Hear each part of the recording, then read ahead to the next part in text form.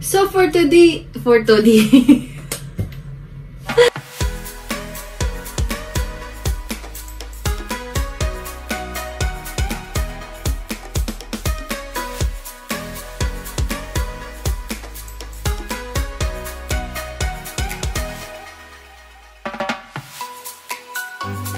Hello guys! Welcome back sa aming channel. For today's video is ako muna ang makakasama nyo. Review ko po ang isang product na talagang sobrang sobrang sobrang favorite ko po. And disclaimer lamang, di po to siya sponsored or or anything. Or yung mga bawat sasabihin ko pong dito sa video ito is based po sa aking experience po sa paggamit sa mga sa produktong ito. I-review ko po ngayon is ang product ng RYX or Rix Skin Sincerity. Pakita ko lamang po sa inyo kung paano po siya gamitin at kung ano po yung effect niya sa akin. So, ayun. So, first is itong Ultra Hydrating Foam Cleanser. Ang nakalagay po dito, for all skin skin types. Ayan, for all skin types. Ayan, itong deep cleansing water. Ayan, may nakasealed pa yan. Skin perfecting serum. Ayan. Skin perfecting serum. Ayan. Serum. Konti na lang. Ito yung dati niyang packaging. Ayan. Ayan, yung packaging niya dati. Pero ngayon, ito na yung bago niyang packaging. So, ayun, simulan na po natin. May ipapakita ko po sa inyo kung paano ko siya ginagawa. So, first, wash po muna natin ang ating face.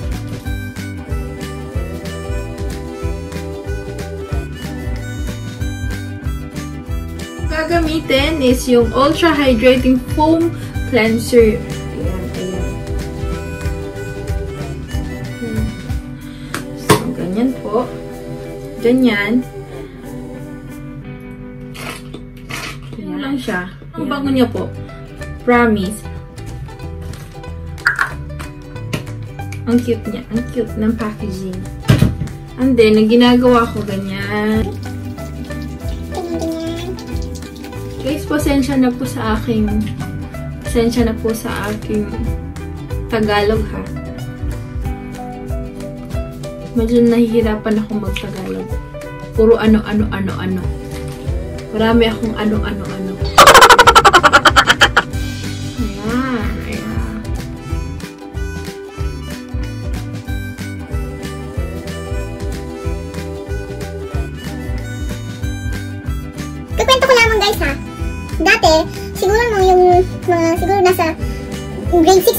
6 pa lang ata ako guys. Siguro, yun, mga grade 6 nga.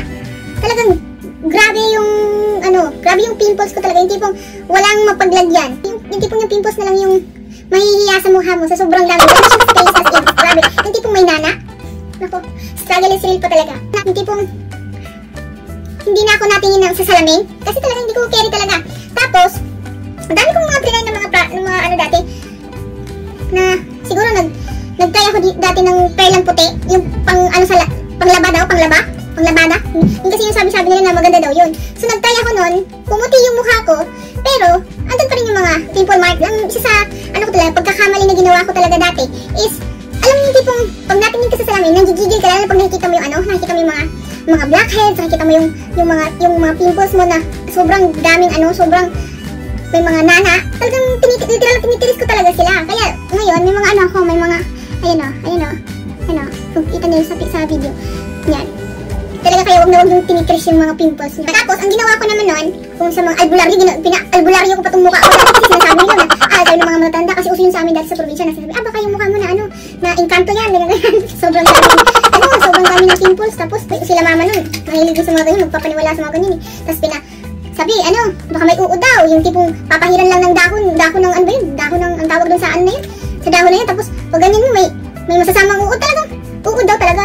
Hindi ko na matandaan kung may uod ba yun. Kaya yung, hindi talaga siya nawala, mga ilang ano din, hindi rin talaga nawala yung ano ko, yung pimples ko. So, ang nangyari, nagpaano ako, nagpa-derma ako. Yung sa Victoria, Victoria Plaza yun, yung taga Davao na nanonood dyan, alam niyo yun. Victoria, yung Mediskin ba yun? Yun, nagpa-derma ako dun. Siguro, once a week napunta ako ng derma.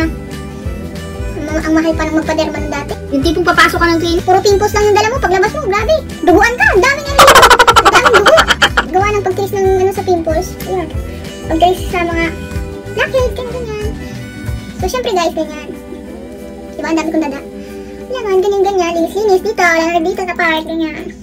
Ayun na nga guys, nagpaderma ako pero hindi rin nawala. Kumbaga talagang grabe yung struggle ng ano ko, grabe yung struggle ko sa mukha ko ng mga time na yun. Kaya hanggang sa nag-decide na kami, nag-migrate na kami dito sa Japan, ayun, siguro nakatulong din sa akin yung, ano, yung, yung ano dito sa Japan, malinis kasi walang pollution dito. Hindi kagaya sa atin sa Pilipinas na dati nagkukumute lang kami.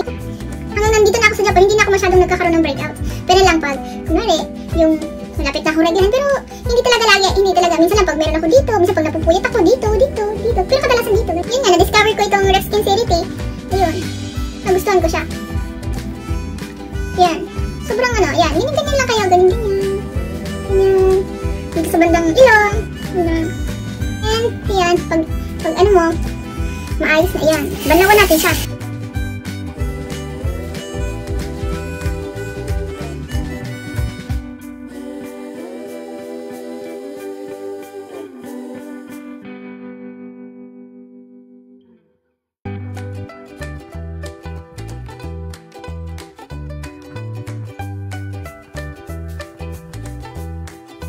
Kita niyo yung effect. Ayan guys, nakikita niyo na yung effect niya sa sa skin ko. 'Di ba? After ko siyang gamitin yung foam cleanser is talagang malambot siya sa skin. Tsaka talagang nakakaano yung amoy niya. Yung tipong nakaka-relax din yung amoy niya. Sobrang bango talaga. Promise, sobrang bango. So, so guys, ang next natin is yung deep cleansing water. So, as you can see guys, as napapansin nyo, nag naglagay ako ng lip tint kasi. So, ayan, may nakasealed pa siya. Alam nyo guys, talagang itong isa dito sa pinaka-favorite ko eh. Ang kagandahan nito talaga guys is compared sa ibang toner, ito talaga, grabe. Favorite ko talaga to. Wala siyang ano, wala siyang hapdi effect sa mukha.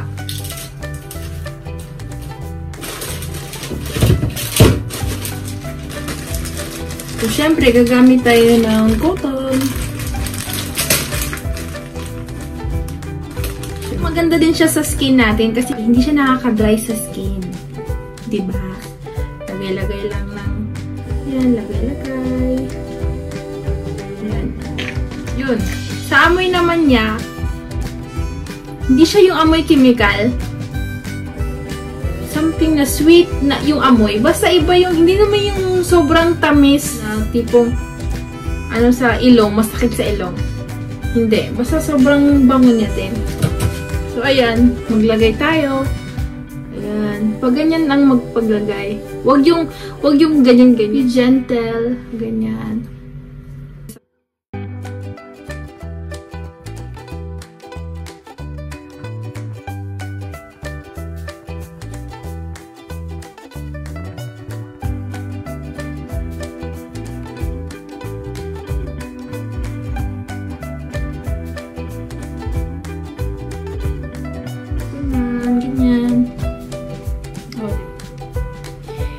Talagang toner pa lang talagang mag, mag, may glow effect na siya.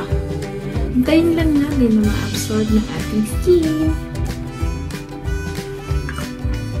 So, ang ating next na gagamitin is ang kanyang serum. Yung, yan. Ganyan ang kulay niya. Diba? Mabango din. Sobra. Amoy pa lang, the best na. Siyempre, ganyan. Lagay tayo dyan.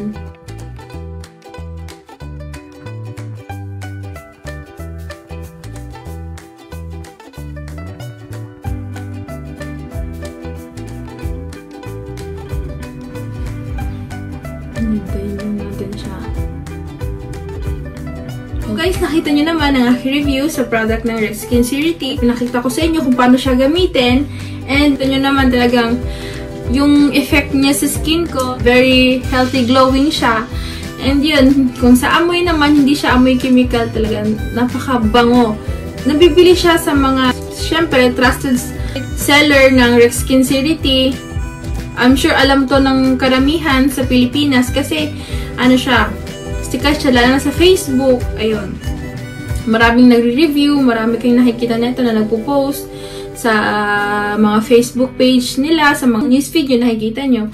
So, yun lamang po. Wala akong negative na comment sa sa sa product na ito. Ang gusto ko lang sabihin na sana more product to come pa ng ng kumpanyang Rexkin City. Though marami na silang product ngayon na ginagawa, na I'm sure talagang naghihit din ang product na ito.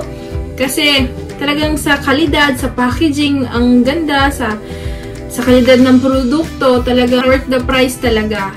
Siguro ang price nito, hindi ko lang siya alam kung magkano. Ilalagay ko lang siya sa description below kung magkano yung exact price niya. Kasi guys, kung na-enjoy kayo sa ating video for today, please don't forget to like, subscribe, and click the notification bell button para updated kayo sa aming future videos. Thank you guys! I hope to see you soon. Bye!